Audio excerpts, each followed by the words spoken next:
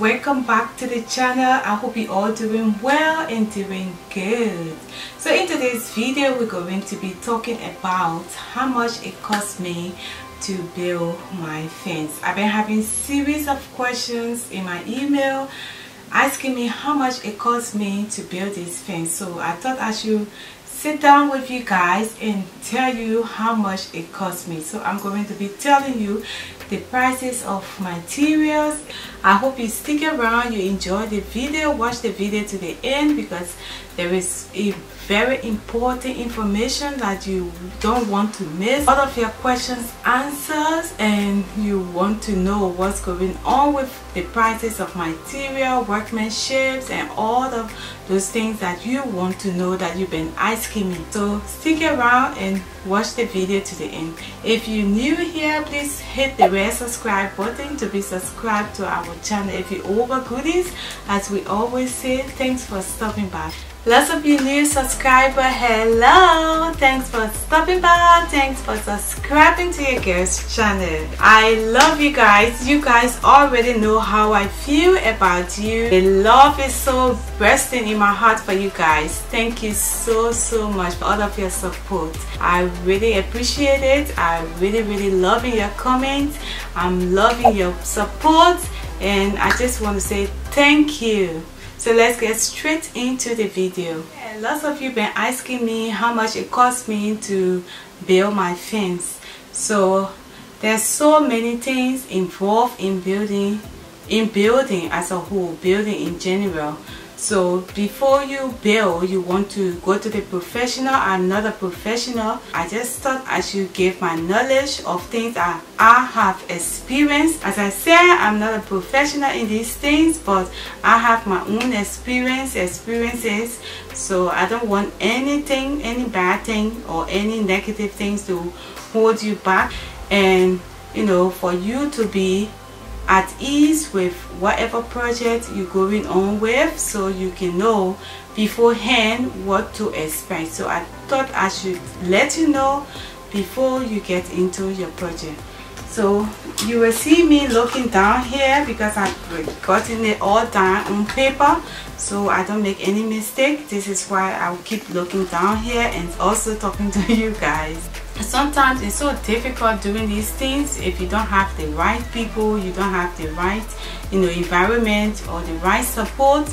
You found out that you spend lots and lots of money and this even discourage some people to go on with their plan. So i know i'm talking about fans today but as you all know or as you may know i'm other i'm into other projects but today's video is all about my fence. Before you build anything or put down any structure for that matter, you want to know the pros and cons or you want to go to the professional to ask them what is like to do what you want to do. So this is what I did. I found the right people that will give me advice on what I want to do. So after I've done that, I started getting my materials to make my project easy. So the first thing I did was to mold my blocks. I had to buy two molders and those molders cost me $30 for each. So it was $60 when I bought my molder. I don't know how much it is now because prices changes all of the time. But when I bought mine, it was $30. I found the people that will be doing the molding of the blocks and I got my materials. So they have different types of cement. I think they have about three different types of cement. I think it goes with the grading. Um, that means the strength of the cement. You can do your research to make sure of that because I wanted the blocks to be really hard so that the fence last forever. So once you have the person that's going to do the job the next thing you want to do is to get your material. That is your cement your sand your molder some people have their own molder they buy it. And some people like to rent molders molders are the cube that um, square or however they call it thing that you when once they mix the cement and the sand they put it in there to have the to mold the blocks to make it into a cube. So that's the molder that does that. So some people rent it and some people buy it. You also have to pay the person who will be molding the blocks. You have to come to an understanding whether you will have to provide food for them or they will provide their own food and then you just pay them their money coming down to the materials the prices of the material. So the cement it has different prices. You have some for seven dollars fifty cents you have some for six dollars i think 75 cents and you have some for eight dollars 50 cents. I decided to go with the eight dollars 50 cent one. I didn't buy it in bulk. I bought it i bought like um 50 bags first and then went on to 75 bags and then back down to 50 so I just wanted to play that way to see how everything goes. And the next thing I bought was the sand because you need the sand to mix with the cement to mold the blocks. So you have to buy the sand. And I bought the 10 tire load of sand. And the first load I bought was two 10 tires. That means two truckloads of sand and each truckload is $130 that's how much I spent on one 10 tire load of sand and the next thing I bought was the crush racks because I wanted the crush racks to be there and be waiting for when the work starts. So I just thought I should you know get them ready. So I also bought the steel. You need someone to plait the steel depending on the size you want and depending on the length you have to buy the thing I don't know the name of it now but there is something that they tie. If I remember I'll, I'll put it on the screen. So yes I bought that and then I had I had to pay for the person that was going to plait it. One dollar or one dollar 75 cents for one of those cubes but one of the steel rod cost me eight dollars 50 cents. I can't remember the length but it was eight dollars 50 cents and I had to buy 75 up to uh, 100 pieces. 30 blocks to come from each bed of cement. Some people do 27 blocks to come from each bag. Some people do 32 bags.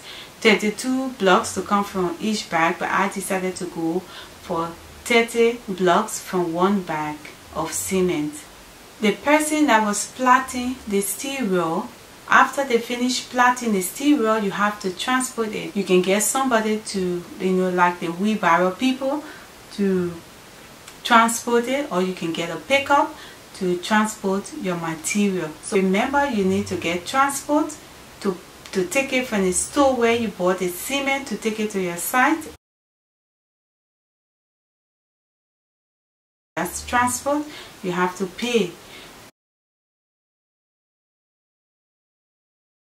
Now coming to the workmanship, the people that will do the work, that means to build the fence. So you have to make an agreement or you people have to sit down and discuss how much their workmanship will be and how they are going to carry on the work. So this is what I did because I didn't wanted them to come with too many complaints telling me about there is no transport for me to come on time so I provided accommodation for them so they can carry on the work. And you also need to discuss with them whether you know their uh, feeding will come from their money. So that also needs to be discussed. So for the workmanship we had to pay them a thousand five hundred so guys i hope you enjoyed this video. I hope this video was informative enough for you to have a clue for you to have enough information to do what you want to do when it comes to your project. This is what i am trying to bring out to you guys just to inform you to make you aware of things that you need to be aware of when you carry on these kind of projects I know it's not easy to do, but with determination and you know strong willpower you can make it you can do it. Don't let anyone discourage you because if you take your time and study the whole situation it all comes together nicely. Don't forget to hit the red subscribe button to be part of our tribe be part of our family. Thank you so much also hit the notification button to be notified every time we upload new video. Thank you and i will see you in my next one. Bye. Lay with me. If only for a moment Only for a while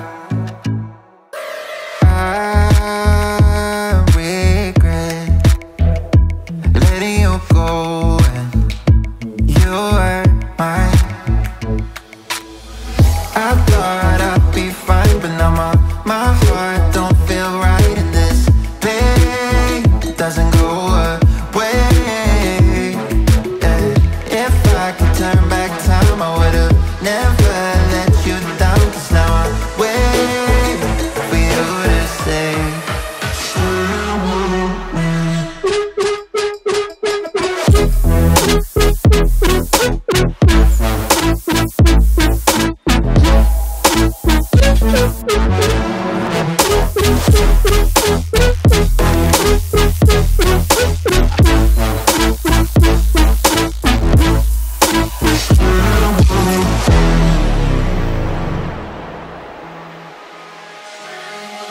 Call me back. I haven't heard from you in so long. I'm starting to forget